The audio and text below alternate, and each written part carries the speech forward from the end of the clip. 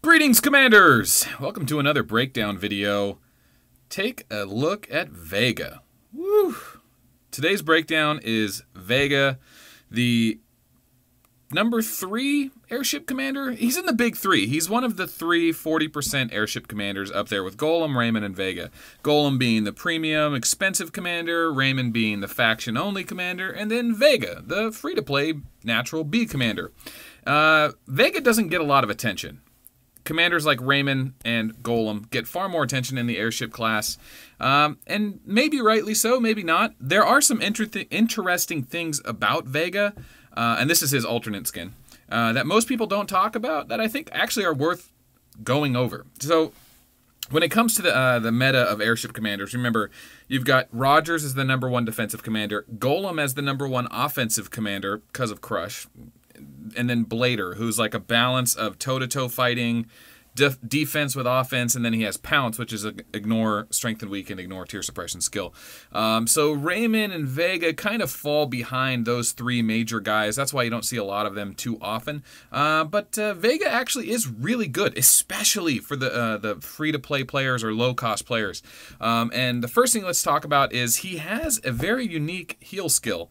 Um, I thought it was like elves. It's not. Uh, the way Quick Replenish works, it's a 20% skill, not 22. That's because I have Dominion Hull on. Uh, 20% skill, and it gets 1% per level. And basically what it says is if you have 100 troops and your opponent hits you for 99 and you have one troop left, then you will heal for whatever percentage you have the skill. So uh, if well, let's let's be a better example. If you have 101 troops and you get hit for 100 troops, as long as one survives, uh, this will trigger. And uh, if you'd already had it on you, which uh, and it'll heal whatever percentage. So if you have it at 60% skill, uh, level 60, 60%, you'll get 60 of those guys back. It's as clear as day. I'll show that in a replay later. I don't want to fumble over my words anymore. It's basically if you get hit for 100 damage at level 60, it heals 60 of it back. So Simple as that. I like that, nice and easy, and it lasts all the way until that this troop stack goes again. And uh, it, it, doesn't work against uh, Plasma's bomb, and I'm pr pretty sure a couple other things, but it will trigger off Awakenings, which is nice. Uh, the second skill is well, the third skill, of course, the Airship Awakening hits everything very nice. Best Awakenings in the game. I like them better than Walker and Infantry, but typical Airship Awakening, and of course the main skill, the 40% skill. It's a complicated skill it's not straightforward because it kind of works like the Sagittarius gem. It says 40% chance of trigger before the action. Uh, this attack will hit and it disregards opponent's defense buffs. Really good. At level 50, it ignores 100% of your opponent's defense buffs. It's not removes 100% of their buffs entirely. It literally just says like if they have 500% bonus to defense, this lowers it to 400%. I'm pretty sure about that. However, I've got a really interesting replay that maybe thinks we should investigate this a little bit more. Um, so, uh, I'm not going to spend too much time digging on that. Let's do his flavor text and we'll go into the replays. Now, uh, different than other professional assassins, Vega likes a strut when he enters through the main gate, when he reaches his goals. In his spare time, he's the drummer of a heavy metal, heavy metal band called Child of Doom. He always keeps the perfect balance between work and play. All right, so party hard. Okay, so he's a bit of a showboater, and he's in a metal band. This is his uh, Easter skin. This is his regular skin. Uh, the Easter skin comes around in Easter. I don't know if it came around this year. I don't think it did. Anyway, uh, going into the replays. So the first one I want to show you guys is kind of what we expect. Uh, if you go there, you're, you are going to see what a typical golem in the exact same gear does to a level 20 nightmare. And the reason I say golem is because really is is Vega better than Golem? The answer is probably not. Golem has a double attack skills. Vega has a heal skill. Here's a basic hit. Basic hit 977,000. 977. That was actually high for uh, tier 10 infantry with the same exact gear. So here comes the crush. 977 becomes 2.4 million. Uh, so Golem's Crush at level 32. Now remember, these skills aren't the same level, so it's not the not ideal. Uh, but basically, he's getting a 266% damage increase on that Crush. Now, in the same exact gear with the same exact troops against the same exact monster, we want to see how Breakdown, Vega's 40% skill, compares to Golem's Crush.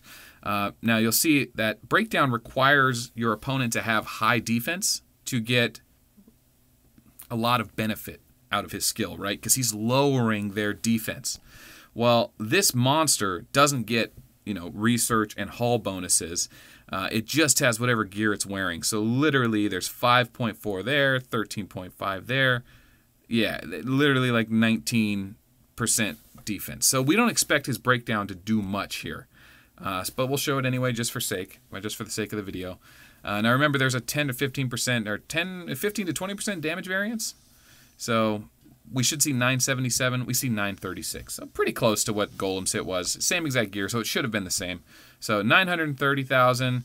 And then here comes the breakdown trigger soon. We got to wait till it goes around. I think we'll get it. Now, the front and the back row hit for the same damage. That's how the gear is set up, so you don't have to worry about the damages being different. All right, so back row's going. One troop. No, I don't, nope. That's the third slot. Here we go. All right, fourth slot. Come on. Everything but the breakdown. Jeez. All right, it'll be on this one. And uh, we're going to see a damage hit of, instead of 930, 973. So damage went up less than 10%. Now remember, there is a variance there, but Golem's hit was for 2.4 million Vega's same exact troops hit for basically exactly the same damage. Didn't gain any benefit there. Now remember, Vega's skill was only level 15 in this replay, and Crush was at level 33, but the gear was the same, and you'll see that the bonus wasn't that big for Vega. So does that mean Vegas sucks? Well, it means Vegas sucks against people that aren't wearing gear, right? He's not getting any value out of people not wearing gear or monsters because they don't have much gear in the first place. But I had some help from a community member, and uh, Agden decided to just upload a ton of videos. So I went through them. I got the, the information I needed. Um, I have proof of the heal so that you guys can see how the heal works. I think um, I will show that at the end. Let's do the damage replay. So in replay 4, here we go. He shows us what his gear is. Basically, he's going against a heavily defense gear Stella, or uh, the X, excuse me. Not heavily defense. He has Armor the Tyrant, which is pretty much all defense. And then he's got uh, Magwell Pants, which have some defense. So when he triggers his breakdown, and this is a high level Vega, this is probably his main. Uh, when he triggers his breakdown, he's going to hit really hard. Now remember, he's going against tier 2 here, and he's got tier suppression on. Uh, so he's getting hit for zero. But watch this breakdown hit. Level 50 ignores 100% of the defense, and he hits for 900,000. 900,000. And he kills 2,600 or so. Um, I need to pause the video here. In the Sagittarius video, we had trouble trying to figure out because Sagittarius was always hitting the same damage, but more troops were dying. We just didn't notice it because the base troops' HP was lowering. So uh, in this example, it doesn't work that way. Uh, the damage does increase when defense is lowered, so you can take the values as true values. They you don't have to worry about how many troops died. I did double check that. If you want to double check it, you're welcome to, but I've already done that.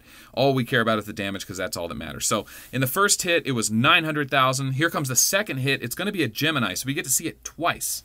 Uh, and uh, that's going to be what the base damage is. Gemini is always the base damage, so we'll see it twice. So instead of 900,000, it's 188 here comes again 179. So you're asking yourself, how did the first breakdown hit for 900,000? 900,000. Let's go ahead, let's revisit it one more time. Breakdown, level 50, ignores 100% of defense. Instead of 177, it hits for 900,000. So breakdown obviously has the potential to do a ton of damage. How does that factor in with tier suppression? How does that factor in against tier 7 versus tier 2 compared to a normal hit?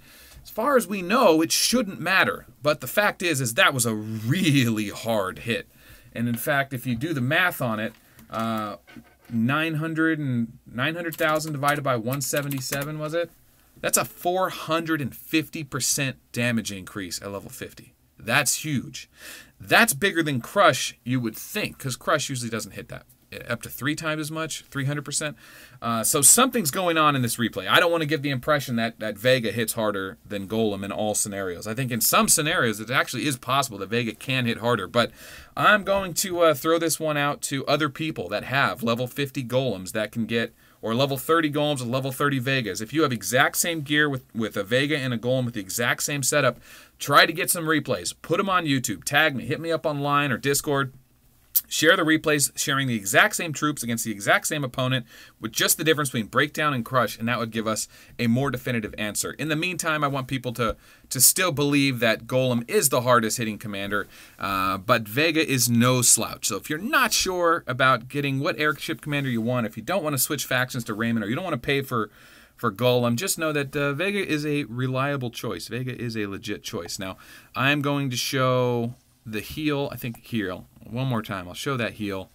Uh, and it's just how it works. It's really neat. So quick replenish triggers on the first slot, and uh, we'll talk about the heal. So the heal is uh, just whatever he loses. So if he if it's a level 30 skill and he loses 100 troops, if it triggered the skill, he gets 30 back. That's simple.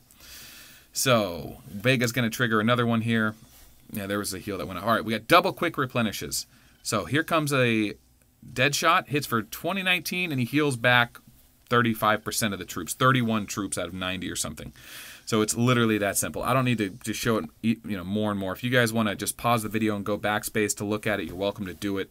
Um, but that pretty much that pretty much covers Vega, man. I'm a huge fan of Vega. I've always been a big fan of Vega. He's the he's the coolest, one of the coolest looking commanders in the game by far. I mean, look at that skin. Look at it. Just look at it. He's a dwarf. He's got sick hair, super muscular, very cool, and he's free to play. So, uh, yeah, big fan of Vega. That pretty much covers it. If you have any more information on Vega, like I said earlier, hit me up in the line. Put the replays on YouTube. Let's take a look. I think ultimately Vegas does scale better. The higher your opponent's gear is, he will hit continue to hit harder and harder. So he's really good in that regard, as opposed to Raymond, who eh, just double damages and it doesn't. And, and not to mem remember, Vega's skills will trigger and stack with Leo and Sagittarius and Scorpio. And when their defense is lowered, whatever bonus that gives you, the bonus damage provided by other skills and gems will also stack on top of that. So very hard hitting. A second hardest airship or second hardest hitting in the game next to Golem. I think more research is warranted, but certainly no slouch. So that that pretty much covers it. Thanks for watching this video. My name is Melt, and remember, peace is bad for business.